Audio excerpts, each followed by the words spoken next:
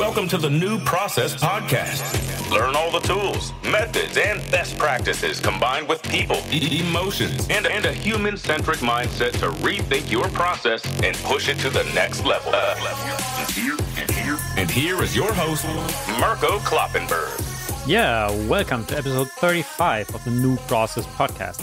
I'm back from a super relaxing vacation in Austria and Italy, and I already worked on some cool things, which I'm going to reveal in the course of this episode.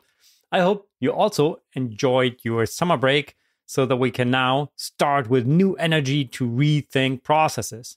Today, I'm finally going to learn what UPN, the Universal Process Notation, is all about and how it supports a human centric BPM approach. Therefore, I've invited UPN's co inventor, Walter Bril, to the podcast. Walter developed UPN back in the beginnings of the 2000s with a number of co-workers at Nimbus, which was later acquired by TIBCO. Before joining Nimbus, Walter worked as process consultant for several companies in the Netherlands. Today, he is customer success manager at elements.cloud, which can also be used to map process in UPN. Walter lives in Nuth, located in the southern Netherlands, which is quite close to the German border and not far away from Aachen. On LinkedIn, he titles himself as a process knowledge nerd. So I think he's perfect to discuss the topic of notations here today. So enjoy the interview with Walter Bril. And now, let's start to rethink processes. Yeah, welcome to the New Process Podcast, Walter. I'm super curious to finally learn more about UPN. So, welcome, Walter. Well, thank you for having me, Mirko. This is great to be in your podcast. Yeah, it was just a matter of time, I suppose. But then, you know, we're all very busy, and uh, yeah, I'm so happy to be here. Yeah. Yeah, you're my first guest after the summer break, and okay. I, this is driving me even more motivated to learn more about UPN. So, just coming back from a relaxed vacation in Italy, and uh, now okay. UPN today. yeah. cool. Let's check right into our flight today. What do you prefer in an aircraft, aisle or window seat? Okay, long haul always uh, window seat because then I can put my head, you know, uh, a little more to the to the window. But short flights always aisle. yeah, I do it the same way. That's that's a very good approach, I think. And what is your favorite airport? To be honest, uh, that has been Frankfurt for a long time. And no. Reason, yeah, yeah, and I will tell you why. Because I ha- I was working for SAP for a long time, uh, and I had to fly every single week to Frankfurt and then sort of drive uh, to Walldorf. Uh, yeah. You know, every week. And as people started to know me, because you know it happens that you were every week there, so the uh, the Hertz guys they said, "Hey, Mr. Bril, uh, welcome," uh, and so weiter and so weiter, uh, and uh, they knew me, so that was really cool. And then they sometimes gave me a really cool car, which is really awesome. Uh, but then also the uh, the launch, the lounge, sorry, the launch, the lounge uh, guys knew me as well. So I had because I fly a lot, uh, you have lounge access, and that was just so relaxing. So the most relaxing experience was actually in Frankfurt. Now, from a shall I say normal airport experience, as in like not being in a lounge, that would be probably a different airport. But fine. I mean, that would maybe Schiphol Airport because it has so much uh, shoppings and stuff like that, and there's there's so much things to do. But yeah, but but from Frankfurt, from a for for a more like relaxing, you know, situation, I like that. Yeah, yeah. So it's always very calm. You know, there's not, not many people. I, oh, I love that. okay. that's that's an interesting perspective because I was flying to Frankfurt for years. Sometimes I shouldn't tell that twice a week, and the security is just um, not very lean. And uh, that, that was always a little bit exciting to get to the aircraft on time uh, especially that's also why I, I prefer Schiphol a little bit more because i'm also a premium member. So basically uh, around security, but especially for cross boarding. You know, I just had to go. You don't, don't have to stand in rows, so you had always priority, which which is always nice. I have a little. I don't know if it fits in the in the podcast, but I have a little anecdote there. So I have this this little card, you know, this premium card. Yeah. And I traveled um, well years ago. I traveled first class, well, first class, business class or something from from States to to, to Amsterdam, and there was a whole group of, shall we say, pretty spoiled uh, people. They didn't want to really walk from the gate to, you know, so they, they ordered a car, you know, so they didn't have to walk. I don't know if they had any, I think they didn't have anything on that, no, any disabilities or something, but they were just sort of lazy. But very, you know, portion wall, you know. Then uh, I went, yeah, whatever. And so I went walking, and then of course it was a seven for seven, so it was a huge, huge show. Then, then this this magic thing happened. Me in my sort of jeans, you know, and and sort of wasted clothes. I'm sorry, apologies, sorry, passing through, passing through, and then beep, you know, bye. it was out of the airport, and it sort of gave me a like, hmm. I didn't have a car, but you know, like, I'm, I'm quicker. I'm quicker to the conveyor belt than you are. Which doesn't make any difference in the end from from a process perspective, but that's okay. Uh, anyway, yeah, so those are the fun fun parts of flying. I, yeah, exactly. Yeah. Nice anecdote. Uh, but that leads us to the next question. So, what was the best process you have ever experienced? Uh, well, actually, the best pro- it's not not not with flying or, or traveling. It's actually a company called Coolblue in the Netherlands. They they that's that's actually a sort of small Amazon, you know, kind of retail.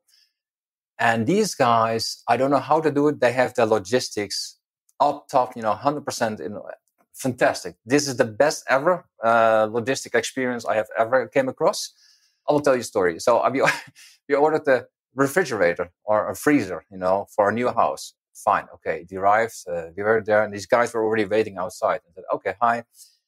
And so, where does this thing go? I said, uh, "Does does it need to go in the garage?" Said, no, no, it has to go to the cellar. Oh, okay, no problem. And then, well, no problem. So they went in with this thing, and then there was the door, and there was the fridge, and I'm like, no way. There was no way this thing could go through. And I'm like, oh no, no, no, shit. How, I mean, how to send it back? These guys like, okay, there's no problem. The process is very simple. You know, we just take it back. You know, you go straight on as as we speak. You go order a new one, which is a little bit smaller. You know, online, and then uh, we'll bring you the next one.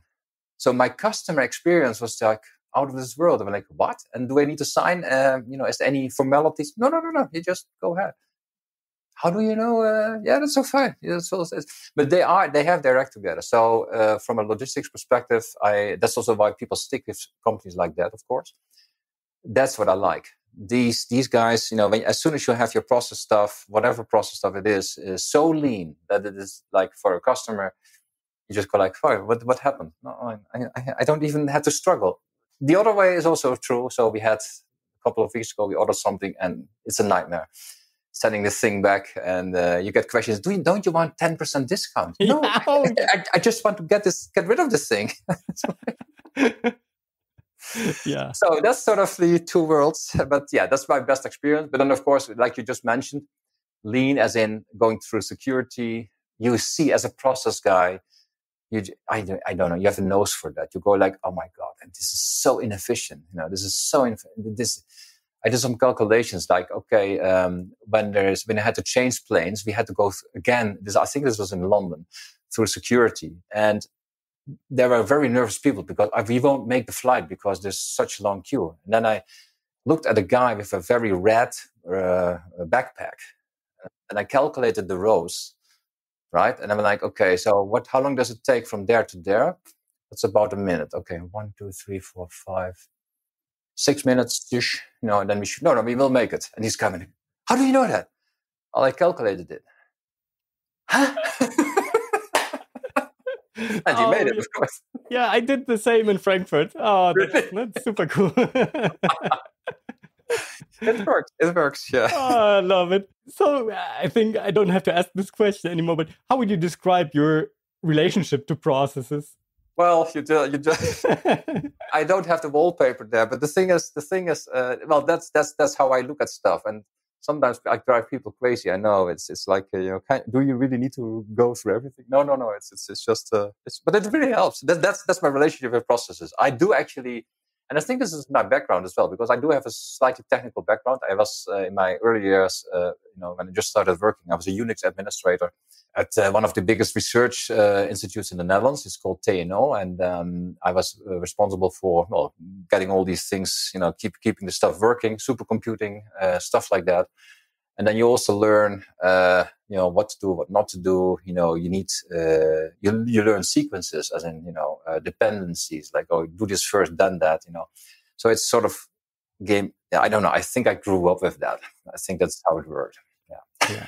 Oh, okay. Cool. That's uh, super interesting. Yeah. then let's deep dive into upn for those of our listeners who have never heard about upn before What is it and how does it look like? It is just a notation, of course. It stands for Universal Process Notation, which is just a label. And the easiest way to, and from, from this whole podcast, to remember what it does and what it is, is actually answering five questions. And these five questions are, I will just name, name them. You can always rewind and listen to them back or write them down or whatever. Uh, I do have a PDF so I can send them. but these questions is, uh, is very simple. So you, you, the first thing you ask, what happens? You know, what happens? And then, uh, I don't know. I, I, I look, I care, I take care of this or I classify incidents or whatever. Okay. Why do you do that? So there's a second question. Why? Oh, because I like it. Yeah, right. Uh, so when do you do that? The third question. When when does it happen? You know, when does uh, when do you start to do that? Okay, so that's the third question. And then you, the fourth question is: so who's responsible? That's the resource, the role. Who's taking care of it? And of course, you can sort of add more things, but I come to this later. And then we have this. The fifth question is: how do you do it? You know, and then you will drive it. So basically, it is what happens why do you do it when when happens it when does it happen who's responsible accountable etc and how do you do it so answering these five questions very very strictly on every single activity you, you create that's the base of, of upn if, if you have to that's the basic building block and if you stick to those five questions you already are in a good shape to build really cool process uh, diagrams you know there's of course there's more to it, but this is basically the base of, of everything. And and then there's there's rules like you don't don't over you know don't over don't exaggerate with um, the boxes on the on the canvas. Don't throw like hundreds of boxes there. But that's just a matter of I would almost say it's almost a skill. It's almost an art. Like you know, people yeah, can absolutely. only it so much. Uh, be clear. You know, uh, you will see very soon that it's, it's wordsmithing as in like, uh, hmm, did you really think about that thing? So, for yeah. example, you see many times activities like receive package, like, yeah, or very, a very, very awful one, manage finance. What the hell? manage? Fi- what do you mean with manage finance? In, in, my trainings, I actually use the word manage in, in, a, in a very, uh, shall we say, I don't know if it's if I don't even know if this is allowed nowadays, but I will do it anyway. Um, do you manage your food or do you cook your food? And then a lot of male guys go like, oh, uh, I manage my food because I'm married. but anyways, you see what I'm coming from. Managing is, is, is you know, is controlling, is, is steering, is, is sort of, you know, pulling the ropes and see what's going on. That's actually managing. We try to avoid these kind of words it is very practical. That's another another aspect of UPN. Um, so answering those five questions, be very practical. You know, just tell me what happens. Mm-hmm. I had this. There's another anecdote that actually sort of you know really illustrates uh, what can go wrong. I was on an assignment in South Africa for a big um, pipeline organization. Uh, you know, transporting uh, all these these fuels and whatever through pipes and I was um, training. I think this was middle management or something. But anyway, I saw some executives, and I said, "Listen, let's do a game. I will divide the class in two parts. I will ask the question: Can you please describe what you think your company is doing?" Ah, oh, sure, easy. I said, "Okay." Now, like five minutes, and then they one group came back. We uh, satisfy our shareholders. Okay. the other group came back with, "We transport fuel from A to B." Mm-hmm. Said, okay, you won, you lose. And then the group with you know satisfying shareholders said, no, no, blah, blah, blah, blah, what is that? You know, we just said, well, the thing is, if you transport your fuel from A to B in the most efficient way, you know, cost effective, what have you, then you automatically satisfy your shareholders, right? So what is your core? Ah, okay. So that's actually also a, a nice illustration how to do that and how to, how to look at things. So basically, don't try to be you know, on the highest levels, even on, on very high level, you know, to be too abstract, you know, just say what you do. Well, I fly planes around, you know, I, I carry people from A to B, you know, using a plane because people seem to have this, you know, sort of intention to get from A to B. So fine. Oh, we want to make money as well. Ah, yeah. Okay, fine. yeah. Okay. And how, how does UPN look like uh, when you map it? I know it's it's a challenge to do that on a podcast, but uh, maybe you can try to explain it. I'll try. I'll do my best. So basically, uh, imagine drawing a rectangle.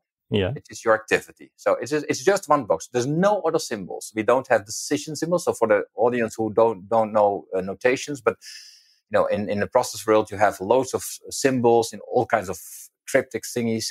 We don't have that. So basically, uh, UPN has this only symbol, which is a rectangle. And that rectangle always, no exception, always depicts an activity. And activities always, no exception, start with a verb and a noun. So it's always classify incident and not I classify incident or, you know, the help desk employee classifies incident or even worse, incident management. Mm-hmm, mm-hmm. No, that's just a container. So you always have to start with a verb. So you have an, a rectangle. So envision yourself a rectangle, classify incident, verb noun. Then you answer in, why would you do that? Well, because we do this for like 10 years. No, no, no. But why? You know what? Let's not do that anymore. No, no, because I need to understand as to, you know, why these uh, things need to be classified. Mm-hmm. Great. That's your answer. So that's your why. So you have to answer the business why. Now, here's a very. So where do you put the why? Where, where is it written or? That's the outcome. Uh, okay. Mm-hmm. Right. So that's the outcome. That's always uh, think with the end in mind. Say. So basically, why do you spend time and money on classifying incidents? Also, that I know the next steps or whatever you know, whatever your answer is. But it is always a business answer. It's not a system status. So many times you see things like validate customer, then we get a validated customer. Mm. Yes, great. That's the status. Mm-hmm. Which is good. It's okay. It's not wrong. But why do you do that from a business perspective? Well, so I know I have no, you know, I've uh, maybe to mitigate risks. Oh yeah, risks mitigated. Okay, cool, fine. That's that sounds like a business answer. But then we have only answered two uh, two questions. So basically, a rectangle with the activity. Then we have the why, which I think is very important and that's an important. attribute if you map that in a tool or uh, just uh, is it also yeah you could you could see it as an attribute. Yeah mm-hmm. yeah it is it is actually i will come to this later with also with respect to ai because that's that's really an interesting thing and and user stories and stuff like that. Um, but that will come i don't want to make things too too too complex right now. So basically you have that activity uh, that box right with what what are you doing? Well classify incidents uh, why do you do that? So that I know the next steps. Okay, cool. That's your business answer. When do you do that? When, when there's a customer call, maybe. When there's mm-hmm. when there's a request. Okay, so that's your when, right? So we have now already a box with a arrow going in, depicting the when. We have an outcome which is depicting the why, but then we still have an answer who's responsible for that, who's doing that actually. Is that the system? Is that the human? Uh, are that multiple persons? So that would be the role or resources. And you stuff these resources under the activity box. So basically you have an activity box answering the why, the when, and who's responsible. Then you already are pretty complete because you have your context.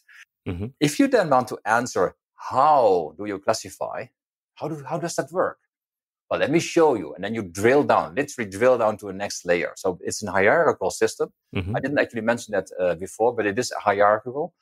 That's just basically uh, to avoid complexity. So basically, mm-hmm. you can see a couple of boxes hmm, that's an interesting one. I don't understand. How does it work? Well, let me show you. You drill down mm-hmm. and you can see more details. And you can do this, you can repeat this. There's no, shall we say, academical slash mathematical method there which says, but on the first three levels, you should only see this. It depends on the complexity of the process, which doesn't mean that you shouldn't or are not, not allowed to do that. For fine, you can do that. But as long as you stick to those five questions, you are fine. You are safe but yeah, I mean, it is it is that that status slash uh, business thing is is is a I see this a lot. So I see also uh, all the diagrams I get sent. Many times they have no text at all on the lines. Mm-hmm. So I'm just wondering. So why is, does this happen? So all the important information is missing actually. So you see all the activities like uh, send email. Yeah. why? I don't know. Validate customer. Yeah, sure. Then we have a validated customer. Yeah, sure. But why? So I'm really, really focusing on, or UPN is really focusing on building the right thing, you know, focusing on the right, uh, well, activities actually, because activities cost time and money. Mm-hmm. Uh, to to build the right thing, and I think that's the that's the in my opinion the right starting point mm-hmm. before you go build stuff and you know just spend time on on needless, uh, you know, add a lot of waste. yeah. Okay. Yeah. Cool. And you mentioned you have a PDF describing that. Maybe we can uh, put a link into the show notes where um, our listeners can. Yeah, I can. I can do that. I can actually. Uh, uh, maybe should, I, I, will find something for you, a link that, that actually. Yeah, exactly. Put that into the show. Yeah, notes. that's, no, no that's perfect. Okay, cool. And how did you come up with the idea of inventing UPN. Yeah, uh, well, that goes a long. I mean, a lot of people have only now just sort of heard about it, but it is actually very, very old. And very, very old is. I'm also very old. Well, you know, I, am almost. Well, I'm not. I'm not 60, but I'm. You know, I'm still in my 50s. But it is. It is very old. So basically, 20 years ago, around 2003 ish. You know, uh, around around that. It's it's really 20 years. It's it's a long time ago. ah, time flies when you're having fun, right? But the thing is, um, I was a consultant working for Nimbus Partners, uh, UK-based company. Their origin is actually more from quality control. They, their product at the, at the time was also called Control, and it already used those boxes and lines. So we we also have these boxes and lines kind of approach at that time. And there was a certain pattern I, I discovered. So when I was sitting in one of my hotel rooms for this, you know, uh, a countless uh, amount of times that I was actually sent abroad. I looked at the diagram and then I'm like, okay, there must be something uh, similar I can I can repeat and, and and be able to sort of you know create consistency in these diagrams because I think it is a very important thing. It doesn't really matter which which notation you use as long as you're consistent um, and you know what you're talking about. That's that's really important. So I looked at it and then went like, okay, wait a minute. This is actually always answering the why question hmm, that's interesting. Does would it work for everything? And the answer was yes, actually it does. Oh, cool. So the what, of course, the what we knew because we already started with a verb and noun. That was that was a given. And then I went like, hmm, the when question. So and that's a very tricky one because the when question can also be a why outcome of, of something else. So it's uh, you know uh, when, why, and then that why would be the next when for the next you know mm-hmm. activity. That was also a pattern, and it sort of worked. Um, think, okay, that really works. This is cool. Um, what about resources and roles? Well, we stuff them under the activity. Hmm. So that's actually answering who's doing it or what system are you are using. Yeah, that that would always work in every time. Cool.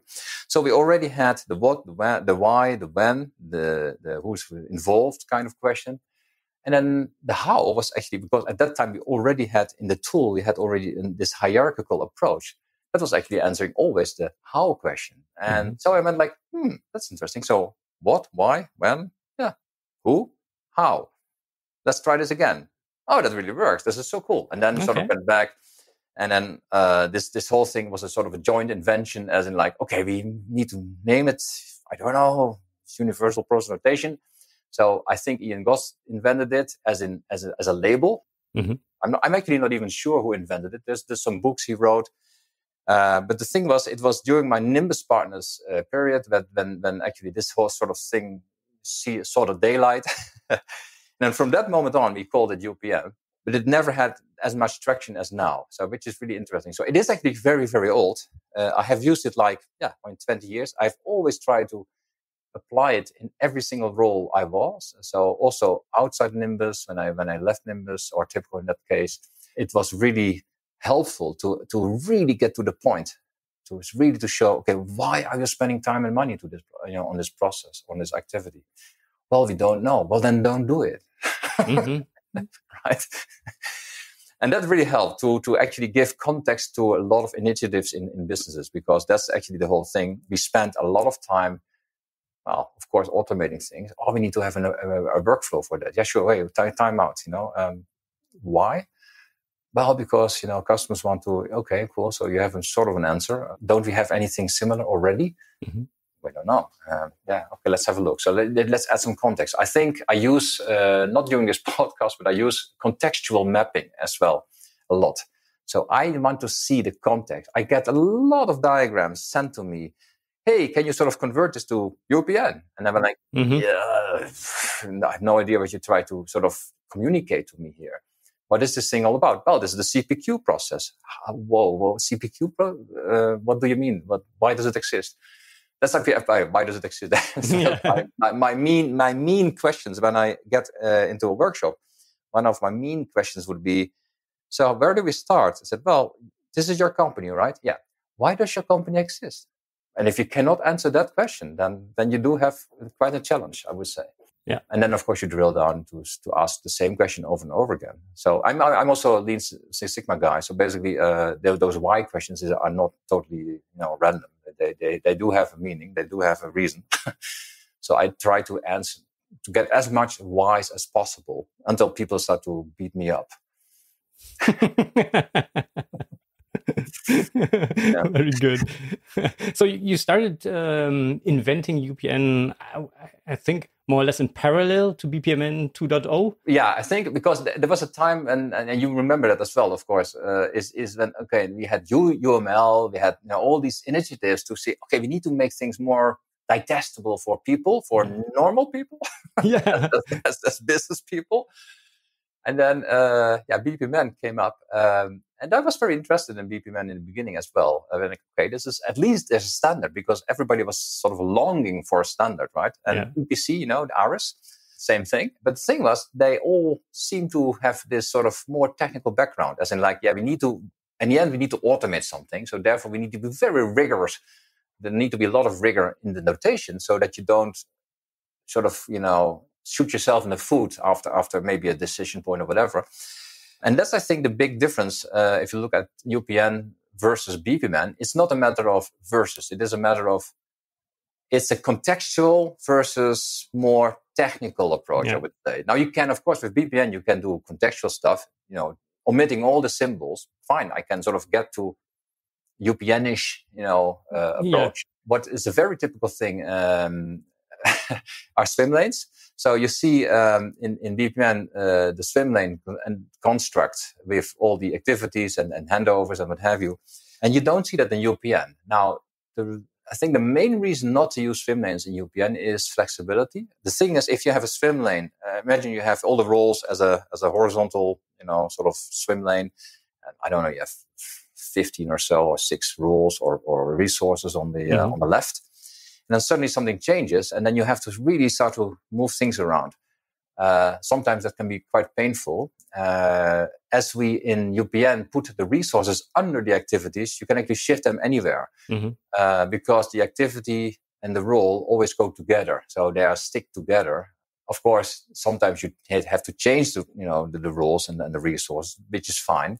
That doesn't mean that we don't support swim lanes, as in UPN. UPN can be done with swim lanes, but mm-hmm. it is just uh, more flexible without swim lanes. And that's pretty much the same, the, the, the, only reason. Now, sometimes people ask me, yeah, but then I cannot see the handoffs in UPN mm-hmm. mm-hmm. because it's very tough.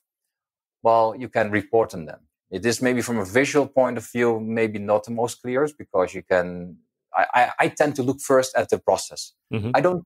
Well, I was going to say I don't give a shit about resources. That's not completely true, but I don't. I really don't care about functions and resources because functions and resources and structure many times, uh, shall we say, stand in the way of of lean process uh, modeling, right? Because we have this sort of yeah, but you need to really include this resource. Mm-hmm. Well, why would I do that? Yeah, that's very important. No, no do away with the resources. I just want to see the activities. In order to cut a tree, what do I need? Well, well, first I have to think about why. Well, I need wood for whatever reason. Okay, cool. We are clear about the wood.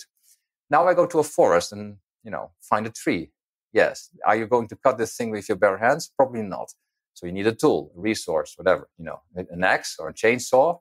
Well, if you need a chainsaw, then you need maybe also safety measures and risk mitigation and what have you. So there's a whole bunch of things that sort of come together the point is that actually I look only at the process 1st mm-hmm. right? Go find the right forest, find the right tree. You know, does it comply to my whatever I need, oak or or or birch or whatever? And then you just go on. And basically, that's the the the way I look at things. And then only then I look at the resources. I go, okay, what do we need? Oh, um, now maybe a carpet. No, not carpenter, not yet, but maybe a lumberjack. Oh yeah, cool, lumberjack. That really works. What does the lumberjack needs? Well, maybe an axe. Is the axe sharp enough? I don't know. Does he does he have the right axe? But then you're already into, shall we say, the tooling mm-hmm. and the resourcing, and you are already forgetting about and why are we cutting this tree again? Mm-hmm. or maybe a very a favorite of me is. Uh, I also use this in my trainings every, well, not every day, but if, if I give a training is, okay, so you're doing all this tree cutting and stuff and fantastic. You know, we're really happy working my, our asses off. And then we climbed in tree number, I don't know, 55. And then we look around and we look, oh shit, wrong forest. Damn. and that's why I like UPN so much because it really gives you the context. So you have to, so every now and then you have to climb the tree, as in go up and go look around and go, okay, we're still doing the right thing. Oh, this is cool. We can continue now. And that's what I really, really love. And it's a very broad thing. Uh, you could do this with other methodologies, I think, as well. But it's so many times forgotten. People are jumping straight into details and, and which of course is fine. If, it, if, if you're a developer or if you are a business analyst on, on details, perfect. But you have to, you know, understand the context. Yeah. That's actually how it, uh, yeah, how I, how I see it. okay. Yeah. That's uh, super interesting. And if, if I now think, oh yeah, I would love to have a closer look and I would love to try it out. How can I start? Is there a tool or documentation? How do I get started? There's a tool. there's there's platform now. Elements.cloud is of course the the, the original uh, founders of Elements.cloud are also the original founders of Nimbus Partners and therefore UPN. So that's definitely a fantastic resource. So by all means, uh, visit Elements.cloud. But there's also Skore, uh, which is uh, which are also two guys uh, previously working for Nimbus Partners. Fantastic tool. So I think Elements.cloud and Skore currently are the best tools if you want to look at tools to sort of you know work with UPN. Now you could go like, yeah, you know, I have PowerPoint. Yeah, yeah, sure, you can you can create boxes and lines in PowerPoint, but it is just it's a just it's just a drawing, and then I must actually sort of go a little bit further. And I cannot speak for Skore, but I can speak for Elements of Cloud it's so much more than just a drawing. It's a it's it's, it's a database. It's there's relationships. Uh, I can report, analyze. You can totally knock yourself out. Resource reports, what, what have you. You can do so many things. SIPOC reports. There's this so many things you can do there, but that's because it's a database. And uh, of course, when people look at screens, they see the, the first thing they see is a graph, you know, as a mm-hmm. diagram. Oh, that's a cool drawing tool. and I go like, no, no, no, no, no, no, no, no. It's not a drawing tool. a methodology, but it's so much more than that. And what you see in, in practice, and that's really, really funny to see is uh, also in the Salesforce market, I must say, is, oh, it's so easy to configure your, your CRM stuff. Yeah. Yes, absolutely. Like so many other software tools out there, it's so easy to configure. But what about documentation? How have you any an architecture? Have you any, have you thought it through? Well, no, answer is probably not. And then that really comes in handy uh, to have an overview which sticks around, which is version controlled, governed, which actually can tell you, which can answer the following questions like, if I change anything in my business process, would that impact my technology? Probably yes. The other way around, this new technology, AI, would that impact my business? Yeah. How would you tell? Well, that's how you tell because they are linked. And um, that's actually very important. So everybody who thinks doing stuff with Visio or PowerPoint, I'm so sorry, that's cool to communicate, communicate, uh, you know, a great process, but it is yeah. not really, it's not, it's not a process driven kind of, you know, approach. It is, it is, it is, it's nice to start with, but I wouldn't even start there because we also have this, uh, at least in elements, we have this free, you know, start. So you can, you can create a free, free, free, um, sort of drawing. It's actually drawing because it's only uh, I think it's only enabling the the drawing part of, of elements. Mm-hmm. Uh, I'm, I'm, not using it that much. Uh, but anything you can at least learn. But it is you can also create disasters with elements if you want to, because it isn't it doesn't enforce you to to actually stick to the verb noun and, yeah. and answering the whys. I actually had I, uh, when you start with elements, you have this little thing called why, the, the text why on the lines. Mm-hmm. So I had once a customer who came. So there's this annoying word why on the lines. Can you can you just get rid of this? And I'm like, okay, um, we have a conversation here. You know. yeah. Oh, cool. Yeah. That's, and is there also training available?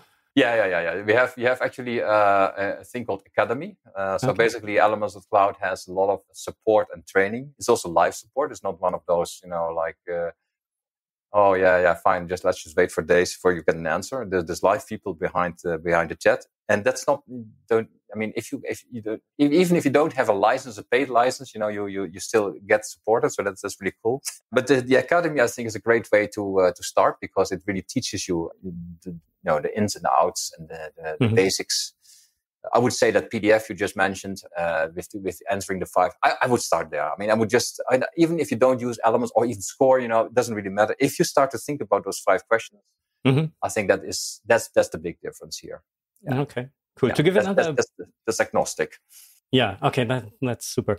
And to give another example, what, what was your favorite UPN related project? Actually, I'm doing as, as we speak. I'm I'm actually right in the middle of it, and I will tell you a little bit about it. Uh, there's of course an NDA. I cannot uh, reveal anything there, but the, I will tell you a little bit the uh, sort of the the thing I'm working on.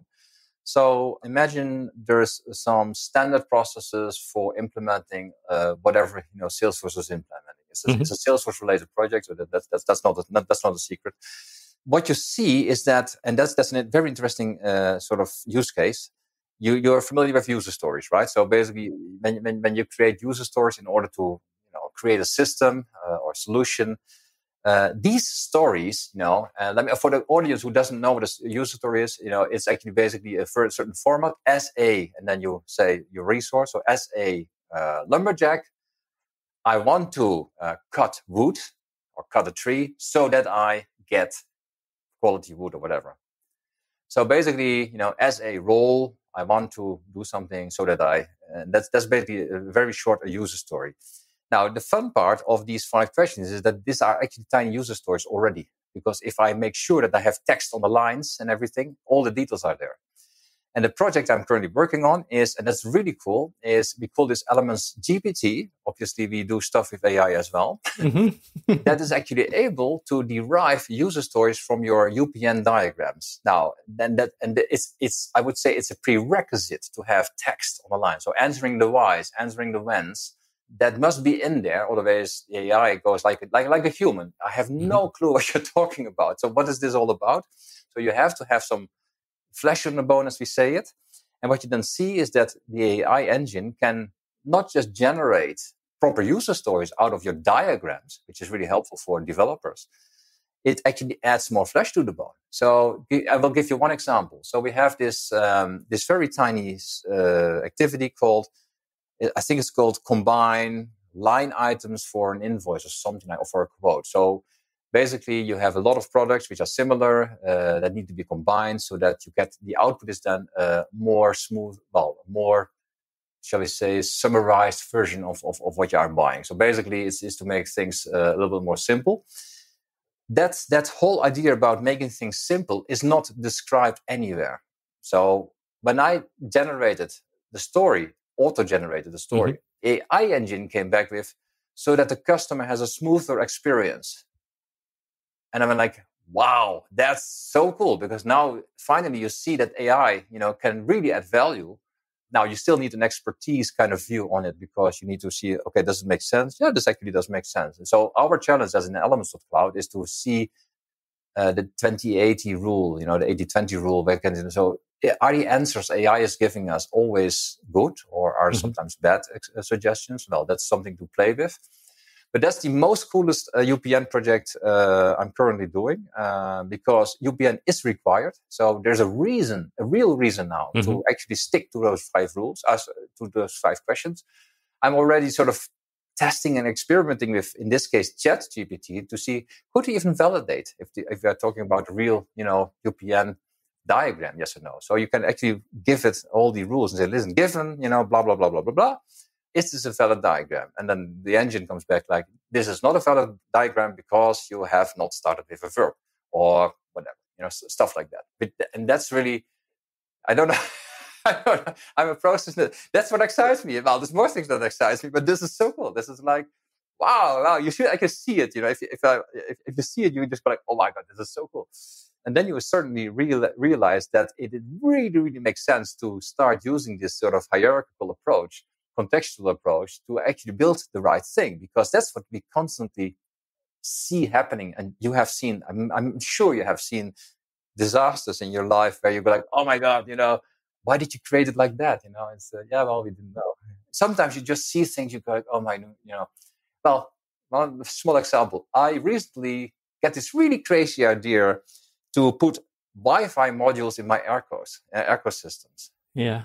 But airco suppliers are not their their origin is not IT, is not Wi-Fi, it's not internet. So there's a big gap between how they perceive, you yeah. know, home automation. uh it's just like you just go like, okay, okay, fine. Um, two different worlds, uh, very bad experience. yeah, cool. Uh, so you're also experimenting with AI. That's shall we say in a very uh, strict and rigorous way because I don't want to get into the trap of where AI sort of suggests things and people go like, yeah, but you know, AI said it, so it must be true. Or it must be the, the right thing to do because sometimes it suggests things where you go like, no, yeah, it doesn't work. That's not how it works. So we need to. The prompting is the most important, right? So the generating those prompts uh, that's actually we have a whole team uh, working on that to actually think about what's the best way, you know, what's the contextual way. So as Elements.cloud is a Salesforce related uh, sort of solution. Um, now you can use it also without Salesforce, of course, if you just want to stick to UPN mapping. But the thing is, we know about your configuration in Salesforce, so because we analyze that, and that information combined with the, shall we say, the diagramming that really makes makes the whole solution quite quite interesting. Yeah, ah, that's that's a super cool use case. And I, am currently thinking about um, hosting another episode on AI, how to use ChatGPT yeah. to rethink processes and how to prompt and, and so on, just independent from a tool, but uh, also thinking about how to yeah import process models into ChatGPT to get really process specific answers there. Yeah, I think we're very close to that. I mean, that's another aspect of you. It wasn't there before because people were asking, so why the hell would I use UPN? Because, you know, well, I guess we are going to a, an era where actually we only have to think about the whys, so only about building the right stuff, which I think is a great thing. So we don't are, you know, stuck in, in details and that we can't do this because we can't automate this or because of the automation is like this, you just have to work like that.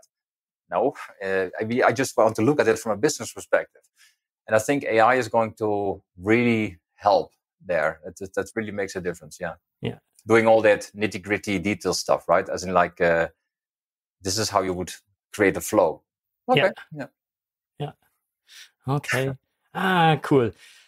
Before we uh, arrive at our final destination, let's take a step back and uh, just to apply all your overall experience uh, to rethink processes, what would your three top recommendations to our listeners be to to rethink processes to get to a more human centric approach? Maybe by using UPN as well, but uh, I would not start with. Well, I would definitely recommend UPN, obviously, because I'm heavily biased. But the thing is. I started when I sort of uh, it sounds like almost like dramatic, but when I saw the light, I read a, a, book a long, long time ago, a book called uh, Beyond Reengineering, Michael Hammer. So Beyond Reengineering, and I don't know if the audience knows Michael Hammer, but there was this, this reengineering uh, concept in the I think it was in the eight no seventies eighties or something. I'm, I'm forgetting this. Yeah. But he uh, he and uh, Champy so another author came up with this this reengineering of business. And this was then sort of abused to lay, lay off a lot of people because people looked at it like okay we need to these processes need to be far more efficient and that was a pretty rigorous sort of approach or at least it was used that way and then he wrote a second book beyond reengineering mm-hmm. and that book sort of got me I would definitely recommend to look it up. So Beyond Reengineering from Michael Hammer. Mm-hmm. He doesn't live anymore. He, he, he, a couple of years ago, I think yeah. he died. Uh, but the thing is, um, that book really inspired me uh, to, to suddenly think about, oh, wait a minute, you know, it's not about automation. It's not about uh, doing fancy things with flows. It's about value. It's about creating value for the customer. And the customer can be an internal and an external customer of it yeah. right? So basically that's that's what it is all about. And he really depicts it very nicely in that book. So that's that's would be my first recommendation. Go and look up that book because i think it's a really cool thing. Now there's a zillion other books i could recommend but this is the book i uh, think is, is really cool. And then there's this uh, second thing and that's practicality you know be practical. Don't be too don't stick around in you know like like in a specialism. I i, I totally get that. So both my, my daughter is a doctor and my son is doing a surgeon operation assistant studies something like that. Uh, th- there's a very very focused uh, shall we say skills and, and, and things. Uh, i think as a process guy you need to be pretty broad. Uh, you need to be holistic so basically, you need to step out, step back a little bit, you know, climb that tree and look around and see, okay, what was this all about? So build the right thing is, I think, uh, a very, very important thing. That's that's at least what I I, I have learned all those years. I was also in the, in the early days when I was still very young. I was uh, really focusing on on all this. Oh, this is so cool. This is so cool. Yeah, but nobody's going to use it. Oh, okay. so that would be my, my second thing. And the third thing is uh, just do it. Just just just you know whatever tool it is, but rethink those those those uh, those questions. Definitely with UPN, but just try it out. Uh, then you get stuck with yeah, but how does this really relate with BPMN? Because I'm such a BPMN guy, or I'm such an EPC guy, which is which is totally fine uh, or I'm such a swim lane guy, which is sort of fun. You can always, you know, can always embed those notations inside UPN. So basically, you can, I can totally imagine where you have a, an activity called, uh, I don't know, classify incident, and you might have a BPMN diagram that actually totally, you know, lays that out. Great. Then just use that. Yeah. You're like, oh, can you do that? Yes, you can. Is it allowed? Yeah, why not? As long as it is in the right context, as long as you're building the right thing and then of course later on build the thing right. That's that's another thing. So, yeah, you know, be more efficient. But that would be my three recommendations. Yes. Yeah, cool. Thank you. That's that's super interesting. And where can our listeners learn more about your activities? How can they contact you? Well, I'm definitely on LinkedIn. So if they want to really sort of get a sort of one to one, more than happy to do so. So definitely look me up on LinkedIn. I think that's the that's the quickest. Obviously, you can go to Elements.cloud where I work. So Elements.cloud is a company based in uh, well the headquarters in San Francisco, but the majority sits in the UK, and we have our development tree, uh, team actually in the Ukraine, in, in, Lviv. Okay. And we are pretty spread out, so it's a it's, it's like it's a pretty virtual company. Obviously, we do have we do have an office, but as you can see on my back, I mean, I'm 100% dedicated to Elements of Cloud because I just love to work uh, with the guys. You know, it's and of course it's UPN, but it is very exciting stuff but I'm, I'm, I'm much broader than that. Uh, I'm also very concerned about, you know, climate change yeah. and what have you, know, all, all, all, these things. So I'm, I'm definitely a little bit more than that. But the thing is, you have to have a passion in your life. And in my in my case, that's that's Elements of Cloud. So Elements of Cloud is definitely a website I would definitely look up. Uh, even if you're not Salesforce related, you know, go there and have a look. Uh, I think it will uh, will be uh, will be uh, surprising what you can do with it. And if you have any ideas, you know, please do do do share because that yeah. really helps. Yeah. yeah. okay. Thank you for that offer. And um, beyond UPN, um, what I don't know tool, method, expert would you recommend to me and to our listeners to have a closer look at to get new ideas on how to rethink processes? Totally didn't mention it, but the number one thing I would right now in this current yeah. time, as in all what all these things are happening, please go and learn system thinking. Okay. System thinking is so important. I mean, that's that the the I don't know how it is in in. Uh, but are you Mirko? You live in Germany or in? Yeah, uh, in I live in Germany. Okay, yeah. so every I, sh- I, should probably know that there's this polarization going on. There, those we, we, in the Netherlands we call it hully zully, which is like they say, oh damn or damn if you start to learn about system thinking, you certainly realize, oh, wait a minute, it is slightly more subtle than, than, than you would yeah. think, right? And I think system thinking, uh, I do have also a book. I'm not sure where I have the book, but probably somewhere on the back there. Yeah, Thinking in Systems from, yeah, Donella Meadows. So Donella Meadows, uh, I can send you the link.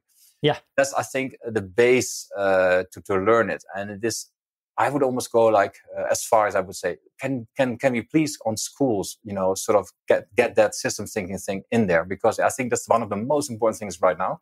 So we get more. Not everybody have to be has to be become smart or something, but it's more to to avoid all this polarization and, mm-hmm. and you know all this stuff. I think that's that's a really really interesting uh, topic. Yeah, definitely. So if if I don't know who's in my network the best system thinker or there's a couple of people there but but yeah fine. That, that, that that's really that i wouldn't recommend. Yes definitely yeah. Okay i put that on my uh, waiting list. There is already a long list of topics to have a closer look at but yeah it sounds uh, very interesting. Yeah, thank you yeah. for that recommendation. Cool yeah. cool I don't know if you realized we already landed the aircraft and yeah, um, smooth landing. yeah, exactly. How would you describe your flight experience with just three words? a very nice flight, as in uh, a very natural uh, flight flow, which which I love. Um, one of the things uh, I do during flights is sit back and relax. Like the captain is always saying that, but I really do that. I never ever take on my laptop in in, a, in whatever flight. Never ever. I just sit back. For me, this is a kind of zen moment, okay. Uh, especially if you have to go a night flight to, to San Francisco or whatever Uh, I do sometimes look at a movie or something, but uh, I, am a reader, so I, I read a lot. Uh, that's what I that's what I do. But I never sounds very strange, but I never put any time in work or something. I, I always uh, have something else. Well, depends. I mean, reading a book about system thinking is sort of work related, but I also like it. So I think the flight is is uh, my experience uh, is, in, and especially this flight is is a very smooth flight. I think all the things I'm passionate about uh, definitely uh, passed by. I hope for you too. But the thing is, uh, yeah, that's what I uh, what I uh, what I see. Yeah. Cool. Uh, Walter, thank you so much for being my guest on this flight. It was super interesting to learn more about UPN and way beyond that. I'm I'm already looking forward to meeting you in person at the New Process conference. so first time that I'm going to mention it here. Uh, we started planning um, having a physical meeting of the people we all know from virtual meetings. Yeah, podcast, yeah, I'm, LinkedIn. I'm, super excited. I mean, yeah, that, so, I saw I saw your announcement actually, and and I'm really. Whatever happens, I want to be there. I, I yeah, really yeah, yeah. Make sure we're going to share more. yeah. Yeah. Yeah. So location is not fixed yet, but uh, maybe when this episode goes online, we already have something more to tell you. Have you, have you ever thought about Aachen? Um, not yet, not yet. but maybe it's close to Aachen. we'll Köln, see. Köln is also okay. okay, Walter, thank you so much. Have a great day. Bye bye. Was a pleasure. Bye bye. Let's recap today's new process inspiration. Wow, now I know what UPN is all about. That was super interesting, and I really like the lean and clean approach of UPN. And I think it's super easy to start with these five questions to get all the information you need for the activities in your processes. So, what happens? Why does it happen? When does it happen? How to do it? And who is responsible? I think it's super cool to use these questions to map your processes and then transfer the information into the attribute of the respective activity. I'm a big fan of methodologies like this that work step by step to create a process design.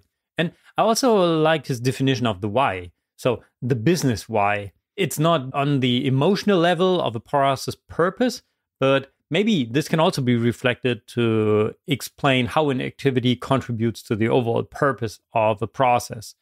I'll think about that. So I think it's super interesting that element.cloud integrates with Salesforce. So that's a cool benefit for all Salesforce users out there to have a direct connection between both tools and get documentation created in elements based on what you have configured in Salesforce, if I understood that right. But as Walter said, Elements of Cloud can also be used without Salesforce. And there are also other tools out there to map process in UPN, or you can even do it on paper if you like to, just by following these five questions. So, in my opinion, UPN really supports a human centric BPM approach with its simplicity and clarity.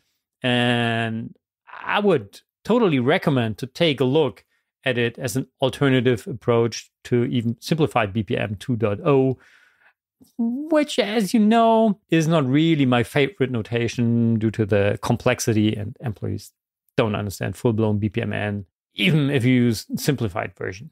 So you'll find all the links Walter mentioned to learn more about UPN in the show notes. And uh, to give you an outlook, there are a number of interesting expert interviews in the pipeline.